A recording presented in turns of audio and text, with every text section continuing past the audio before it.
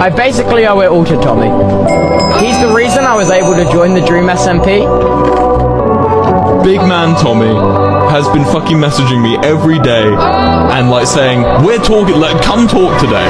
And basically been dragging me over to my PC and making me chat to him.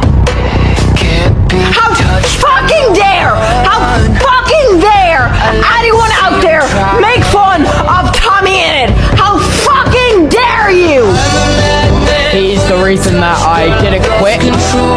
I remember Tommy was like one of the first streamers uh, who like really supported me like a lot and was always like there.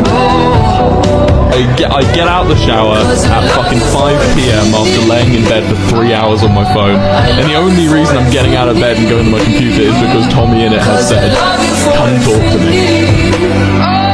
He's my best friend.